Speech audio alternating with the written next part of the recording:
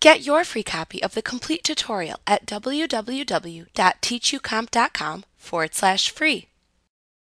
Scroll bars in Microsoft Word can appear both vertically and horizontally along the right and bottom sides of your document window.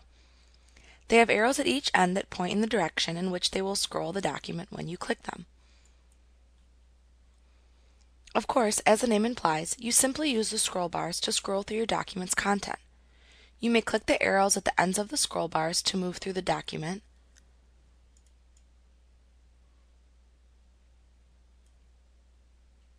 or you may click and drag the box inside of the scroll bars to move through the document quicker.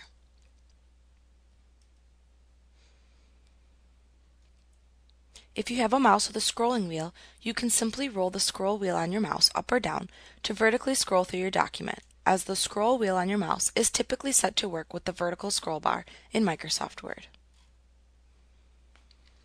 Like what you see? Pick up your free copy of the complete tutorial at www.teachucomp.com forward slash free.